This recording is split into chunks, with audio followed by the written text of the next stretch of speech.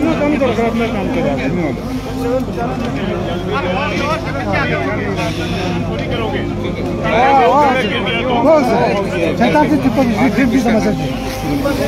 खुदा यार कैसी क्यों आर्मी वालों जा रही है?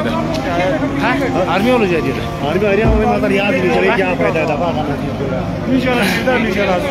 एक दुखद बड़ी बड़ी खबर लेके फिर जुड़े हुए हैं इस वक्त हम द्रास से और कदीम जामिया मरकज़ी मस्जिद से हम इस वक्त बरह रास्त आप लोगों के साथ जुड़े हुए हैं। शाम को, शाम की नमाज़ के तकरीबन सेम वक्त पे जो है यहाँ पे मरकज़ी जामिया मस्जिद द्रास में अचानक आग नमोदार हुई है, जिसकी वजह से पूरी मस्जिद शरीफ जो है इस वक्त आग की जद में है और जिसके बरह रास्त तस्वीरें आप तक पहुँचाने की कोशिश कर रहे हैं। लेकिन बड़ी बदकस्मत की बात जो हमेशा से रही है द्रास में जब भी इस तरह की वारदात रोनमा होती है, जब भी आग की वारदात रोनमा होती है, यहाँ पे किसी फायर इंजन की जो है, यहाँ पे फैसिलिटीज़ नहीं होती है, जिसकी वजह से आग को कहीं हद तक कंट्रोल किया जा सकता है, लेकिन फायर इंजन न होने की वजह से अब पूरी मस्जिद जो है, फिर एक बार आग की जद में आ चुकी है और उसकी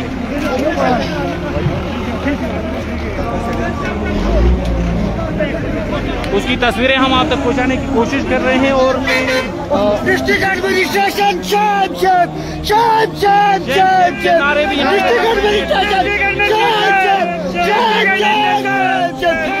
भी गाड़ी बाहर चाहिए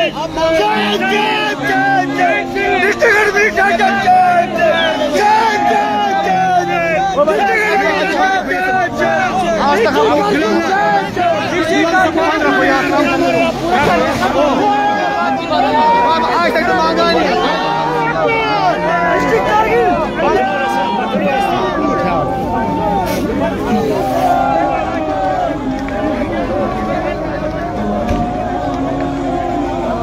फ़िलहाल दुख की बात यही है कि यहाँ पे हमेशा से जब भी आग, जो इस तरह हमेशा आग की जद में, जब भी इससे पहले भी कहीं वारदात हुए हैं, जिसमें फायर सर्विस न होने की वजह से सारा निज़ाम जो है वो दरहम बरहम हो जाता है और पूरी मस्जिद आप देख सकते हैं, पूरी तरह जल के खाकस्तर हो चुकी है और यहाँ पे फायर सर्विस का किसी भी तरह का इंतज़ाम यहाँ पे नहीं है।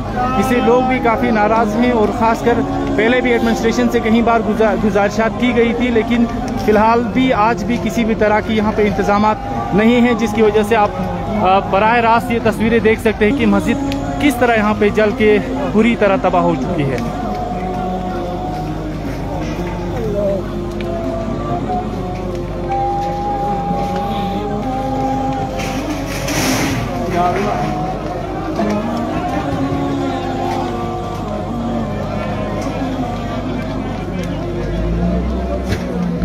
ऐसे में लोगों की कोशिशें बिल्कुल नाकाम हैं और यहाँ पे आर्मी की तरफ़ से एक फायर इंजन लाया गया था जो बिल्कुल काम नहीं कर रहा है। इससे पानी भी यहाँ तक नहीं पहुँचाया जा रहा है क्योंकि ये फायर इंजन काम नहीं कर रहा है, जिसकी वजह से यहाँ पानी मस्जिद तक नहीं पहुँचा सकते हैं।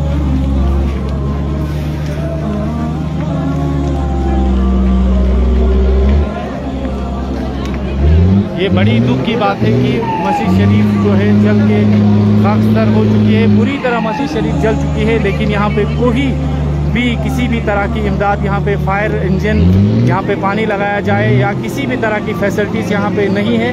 आप देख सकते हैं, यहाँ हज़ारों की संख्या में लोग तो जमा हुए हैं, लेकिन लोग बेबस हैं, लाचार हैं, सिर्फ़ अजानों की आवाज़ यहाँ पे सुनाई दे रही है। लोग अल्लाह ताला से खुसूसी दुआ ज़रूर कर रहे हैं, लेकिन यहाँ पे कोई दूसरी ऐसी कोई कोई सोर्सेस नहीं है जिसकी वजह से मस्जिद शरीफ को जो है पानी वगैरह पहुँचाया जाए और ये आग बुझाया जाए। फ़िलहाल सारे हज़ारों की तादाद में पूरा द्रास यहाँ पे जमा हुआ है, लेकिन फायर इंजन यहाँ पे न होने की वजह से आप खुद देख सकते हैं कि मस्जिद शरीफ इनकी आँखों के सामने जल रही है और सारे लोग यहाँ पे सिर्फ़ देखने के अलावा इनके पास कोई चारा ही नहीं है। तो एडमिनिस्ट्रेशन को इस बात पे हमेशा से ताउन देने की ज़रूरत थी और आज भी एडमिनिस्ट्रेशन को ये सोचना चाहिए कि ऐसे फार फ्लंग एरियाज़ में जो आपके हेडक्वार्टर से 60 किलोमीटर की दूरी पे है तो ऐसे जगहों पे फायर इंजन जो है हमेशा से तैनात रखे ताकि बर वक्त इस तरह के वाक़ात रोनुमा हो जाए तो एट टाइम जो है यहाँ पे पानी के इंतज़ाम हो तो कहीं हद तक इस चीज़ को बचा सकते हैं। लेकिन अफसोस का मकाम है कि मस्जिद शरीफ जो है शहीद हो रही है, लेकिन यहाँ पे किसी भी तरह के इंतज़ाम न होने की वजह से मस्जिद शरीफ जो है वो जल रही है।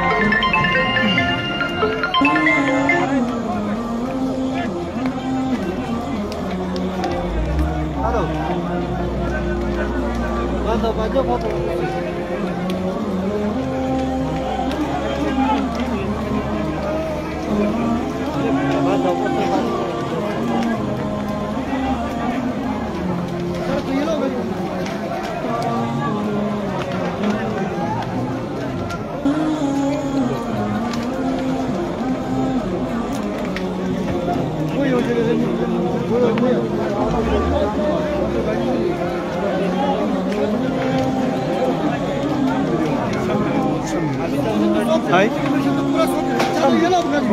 अभी तक तो लेस से गाड़ी लेस से गाड़ी पूरी अभी तक तो करगिल की छोड़ो।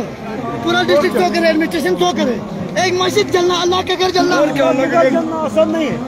अभी तक तो डिस्ट्रिक्ट करगिल तो क्या लेस से गाड़ी पूरी जाती सो करे एडमिनिस्ट्रेशन दस वालों की मस्जिद जल गई तमाशा देख रहे हैं।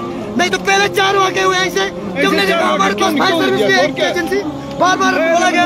हम इन्होंने वादा दिया आज तक आज तक कब कब का पूछा होता है यहाँ पर? अभी तक तो तो दूर की बात है। एक मस्जिद जल रही है अल्लाह का घर जल रहा है शर्म की बात है। डूब कर मर जाओ डूब कर मर जाओ शर्म की बात है। अल्लाह का घर जल रहा है शर्म की बात है। एडमिनिस्ट्रेशन मर जाओ डूब कर। सिर्फ़ कुर्सियों पर बैठ कर तकरीरें करने के रहा अलावा और कुछ नहीं है।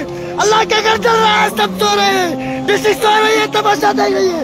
फायर सर्विस पर ही है अभी तक तो लेस से गाड़ी पहुँच जाती करगिल तो दूर की बात है मगरब मैदान से पहले पहले ये आग लग रही है। अल्लाह शहीद गवाह है। अल्लाह रहा है अल्लाह हाजिर नाजिर है।